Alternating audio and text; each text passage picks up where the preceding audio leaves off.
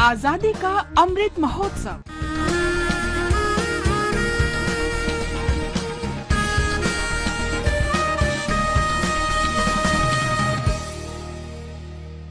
आज़ादी का सफ़र आकाशवाणी समाचार के साथ। आज की कड़ी में हम खासी स्वतंत्रता सेनानी यू तिरोत सिंह सीएम को याद कर रहे हैं। जिनकी 17 जुलाई 1835 को मृत्यु हुई थी। खासी क्षेत्र पर ब्रिटिश कब्जे के खिलाफ अपनी रणनीति, वीरता और नियंत्रण के लिए प्रसिद्ध यू तिरोत सिंह उग्र नेताओं में से एक थे। ये युद्ध 1823 से 1833 तक लड़ा गया था। उनकी पुण्यतिथि हर साल मेघालय में राजकीय अवकाश के रूप में मनाई जाती है। Has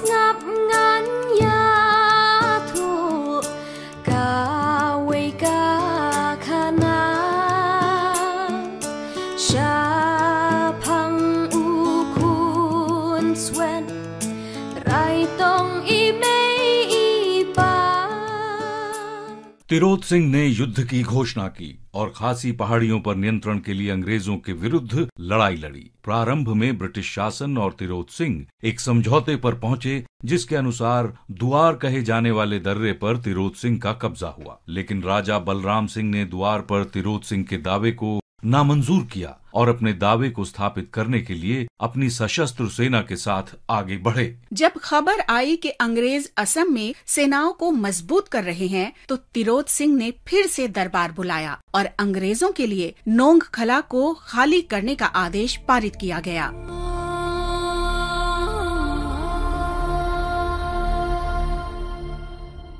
अंग्रेज़ों ने इस पर कोई ध्यान नहीं दिया और खासियों ने नोंगखला में ब्रिटिश सेना पर हमला कर दिया। एंग्लो खासी युद्ध में खासी वीरों के पास गोला बारूद की कमी थी और उनके पास सिर्फ़ तलवारें, ढाल, धनुष और तीर थे। इसलिए उन्होंने गुरिल्ला युद्ध का सहारा लिया। जो लगभग चार वर्षों तक चला। तिरोत सिंह को अंग्रेज़ों ने गोली मार दी थी, इसलिए उन्हें एक गुफा में छिपना पड़ा। आखिरकार उन्हें जनवरी 1833 में अंग्रेज़ों ने पकड़ लिया और ढाका जेल भेज दिया। 17 जुलाई 1835 को यू तिरोत सिंह सीएम का निधन हो गया। आकाशवाणी समाचार देश के इस वीर सपूत को नमन करता है।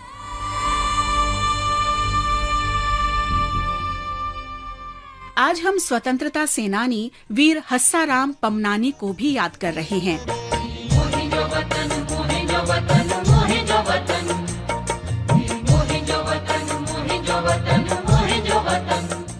हस्साराम पमनानी की मृत्यु 17 जुलाई 1940 को हुई थी। 10 अप्रैल अठारह सौ नवासी को सिंध के रोहरी में जन्मे पमनानी ने 1921 में असहयोग आंदोलन के दौरान सरकारी नौकरी से इस्तीफा दे दिया और राष्ट्रीय आंदोलन में शामिल हो गए। स्वतंत्रता आंदोलन में भागीदारी के लिए उन्हें कई बार जेल जाना पड़ा।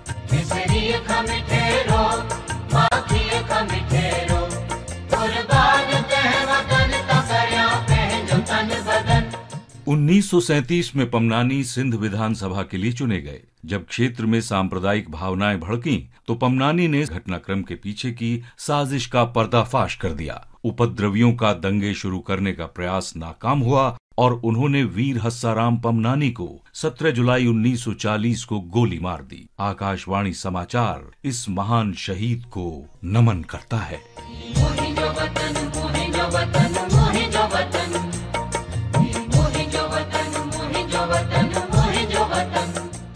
गांधीवादी स्वतंत्रता सेनानी किशोर येसव को भी आज याद कर रहे हैं, जिनकी मृत्यु 17 जुलाई 1930 को हुई थी।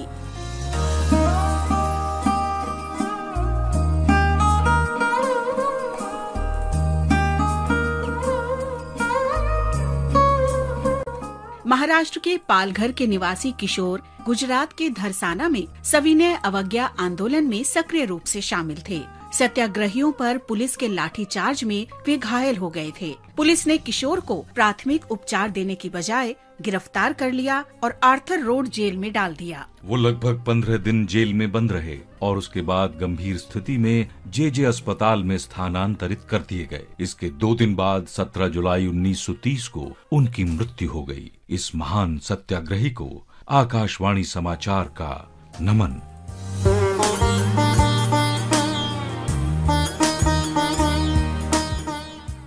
आज हम स्वतंत्रता कार्यकर्ता गुरिया को भी याद कर रहे हैं, जिन्होंने अठारह सौ सत्तावन में स्वतंत्रता के पहले युद्ध में भाग लिया था।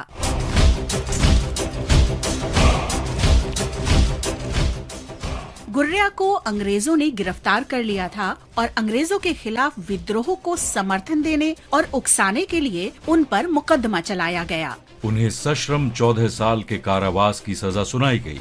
17 जुलाई अठारह सौ उनसठ को अंडमान की सेलुलर जेल के कारावास में ही उनकी मृत्यु हो गई। आकाशवाणी देश के इस वीर सपूत को सलाम करता है। इसके साथ ही आज़ादी का सफ़र आकाशवाणी समाचार के संग श्रृंखला का ये अंक समाप्त हुआ। मिलते हैं कल अगली कड़ी में।